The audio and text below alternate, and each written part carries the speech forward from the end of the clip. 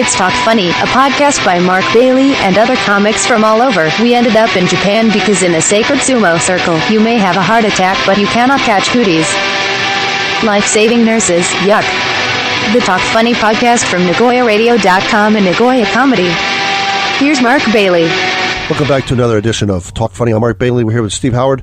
As we kind of tease, uh, hi Steve, say hi.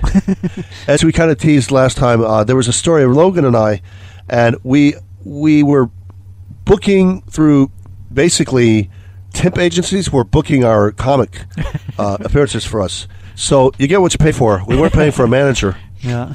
So we had agreed to do something. I think it was called the Apollo Lounge, and it was uh, Apollo Lounge. Yeah, it was in Brooklyn. It's a small club. We'd been there before. we it was a blues club. We'd seen uh, we'd seen um, Bobby Blue Bland there, and we kind of knew the audience, and we knew it was Brooklyn at that time. It actually wasn't a black audience. It was kind of yuppies who were just discovering the blues. So we had our yuppie Yeah. comedy set ready. This is in the '80s, so we're ready to, to go in. And then the temp agency calls and says, they're looking for you guys at the Apollo Theater. I'm like, why are they looking for us there? Because you because that's where I booked you. I'm like, that's an all black oh, Harlem. I don't think we're going up there. This is the '80s. Harlem is a lot nicer now Yeah. than it was then. But hmm. Back then, white people just didn't go to Harlem. They just didn't go. It's like, what happened to Steve? Well, he went to Harlem. And he never came back. And so she goes, "Well, I booked you there, and they already have people in the audience, and you guys are going to open. You're going to open for Chris Rock wasn't wasn't old enough to be big then. It might have been uh, this guy named Earthquake. I don't know If you ever heard of him, hmm. big, he's a hilarious guy, hilarious guy. And we met him. He was a nice guy, and he had a real solid fan base. Uh-huh. But they didn't want white boys getting up, you know, messing with their buzz before Earthquake came on and, and told fart jokes and and you know, talked about uh, different classes of black people. We didn't have any of, the, of that kind of material. Hmm. So I said, well, we're not, we weren't prepared to do that. She goes, well, you need to get up here. And so I called a, a good friend of uh, my dad's is a comedian, Pat Cooper, and he's um, he's kind of almost like our. He was almost like my godfather. He's uh, um, he's actually an Italian guy.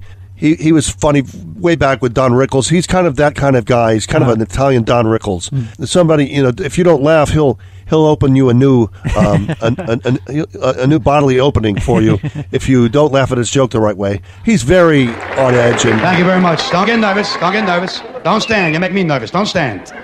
What a thrill. Ah. Where the hell is this place? I left New York City. They say go to the turnpike.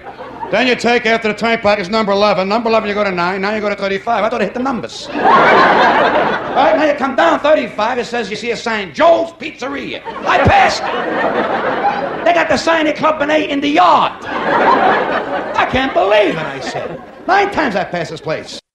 And you ladies in the audience, particularly, I hope you're not offended because I used the word ass about 19 times on my show.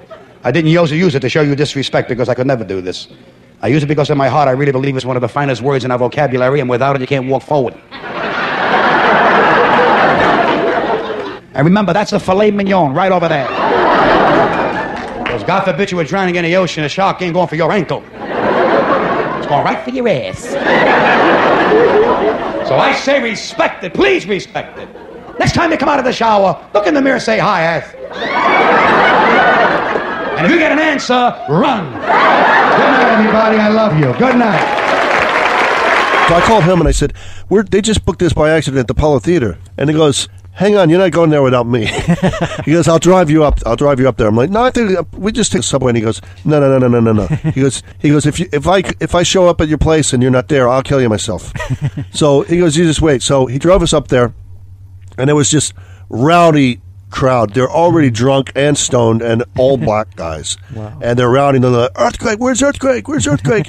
the manager manager is black guy and he goes, Are you guys supposed to be here? And I said, No, we're not supposed to be here. and Pat Cooper said, well, You're not doing you're not getting on yet. He got a chair, he turned it toward the audience, sat in front of the stage, and he had these two bulges in his pants and a coat over him. And he goes, uh, I'm he goes, I've got two uh, pistols with me in case things get bad. I said, you know, maybe we could just leave if things get bad. He goes, if things get bad, you're going to have to go through the exit, and I'm going to have to hold people off to get to the car. I'm like, what? He goes, you guys are not supposed to be here. So we got on because we didn't change our material, uh, and I got on. I think my opener was, so who likes to play golf? Boo, you white cracker! you know, I had another one about you know I live in Brooklyn and um, passed by Greenwich Village. There's a lot of a lot of gay guys in New York now. They're like, you look like one of them. Just heckled and heckled. It's like, where's Earthquake? And I think oh, there was a guy before named Alfonso, and apparently he had a big crowd too. Uh, the guy before Earthquake, and he was on next after after Logan and I. They were going like, where's Alfonso? And they wouldn't let me do my my stick, and I, I I think I was doing hockey jokes, golf jokes. And and I was doing something about uh, This is long before Tiger Woods, right? yeah, this is yeah, this is back and tennis jokes. So there were no black tennis players. There were no black golf players. There weren't any non-Canadian, non-Russian hockey players at the time. And so I was, I, I, I had that, and I had some other. Oh, I said, yeah. Uh, so who was in band class in school? And, Screw band class. It was just X-rated. Just the the epithets and the, everything was horrible. So finally, I said. I was getting irritated. They said, "Bring Alfonso on." I said, you, "We can't bring Alfonso on because they killed Alfonso." and they're like, "Oh no, you didn't! Oh no, you didn't!" I'm like, "I killed him because he was." in Pat Cooper knew where I was going. He turned around. He goes, "Just say goodbye, kid." I said, "Goodbye, kid." and he goes, "Get out of here." Uh, oh, and I, when Logan got on before me, and he, you don't say "you people." To that crowd, Yeah, yeah. he goes, "You people aren't listening to me." What do you mean, you people? He goes, "He goes, you got you, you people don't you never listen. You don't listen. You never listen. What do you mean we never listen?" Pat's like, "Okay, next." so we got out of there alive. Wow. And Pat Cooper said, "I don't know uh, who's booking your things, but your your, your gigs, but maybe get somebody else." I mean, you think maybe? the next week we played. We actually did play the Apollo Lounge. It was actually, we got rescheduled, and that place was kind of a lot of yuppies, but you'd have a couple of mob guys there, and so the mob guys would get. Uh, we got in trouble with Logan because the mob guys would go like, "Let me buy you a drink." So we didn't know not to do that. Yeah. So the guy bought me, one of the guys bought me a drink. He goes, "Come, come sit at the table. You're a funny guy. Hey, hey, come buy me, you know, buy a drink." So I'm sitting there, and then a rival uh, mob, mob gang. Another guy sends over and goes, "This drink's for you," and I'm like, "Oh, okay, but I'm already, I'm fine." I'm like, no. so the wait, wait, the waitress, she goes, "You want me to send it back?" And I said, "Yeah." And he goes, she goes, "I," she goes, "I suggest you just drink it." He's watching, and she goes, "I'm not taking it back. You can take it back." So I just went, "Thanks anyway." Thanks anyway. So the guy came over. Well, you you going to drink? You're going to drink a drink at his table. You're not going to drink a drink at my table. I'm like, okay. So we got over there. They're playing us against each other, mm. and it's just dangerous. That's another reason I don't like meet and greets. Yeah. Did you have any meet and greet uh, experiences or any kind of bad experiences from the audience uh, after your show or something? The, the, the nice thing about uh, mostly performing in Nagoya, our audience are usually people we all know, so nothing nothing too bad uh, in, in my case. Um, yeah, my main thing is just uh, when I get up and perform my material and get zero laughs. Yeah, I mean, it just takes uh, time to get to know the audience, and like I've said before, every audience is different. Sometimes you need a bodyguard. Uh, you know, if you're playing at the Apollo, and other times you've got a very friendly audience. And we've had, uh, you know, we pretty much know the crowd here at, at Nagoya and the other cities that we play. We kind of know if we're going to one a little bit north from here or one a little bit east from here. We kind of know the different quirks. One city not so close to us that we played at before, uh, we played a couple times, and they, they are famous for being, well, I'll say it, Toyohashi is famous for being very passive aggressive hecklers where they will say, hey, great show to you uh, to your face. About two weeks later, they'll heckle you on Facebook and say, yeah, I didn't really enjoy that show. So, I was going to mention we don't really have uh, necessarily have problems with the audience members, but I know in your case you've had problems with drunk comedians after our shows on several occasions. we've kind of thinned the herd a little bit. We've had we had a guy who was doing lithium and God knows what else and drinking, and the guy said, "You know, I'm going to stop that other activity. It's not. It doesn't go well with my lithium." I'm like, "Yeah, I think that drinking doesn't go well with your lithium either." I looked it up on Google, and it says that it'll kill you. So, Yeah. uh, this guy was getting violent. Then we had another guy who was who assaulted two of our Israeli fans who, who showed up, these two girls, and he told them they weren't real Jews, and you know, uh, and then, then he challenged me to a duel. Is it seven, what is it, seventeen twelve? Ch- challenged me to a duel outside. So I said, you know, I'm not your duel partner. I'm your boss. I mean, I'm kind of booking Yeah. these gigs, so maybe uh, I think I asked him to do you know write new material from now on, and he said, well, I'm not going to do that.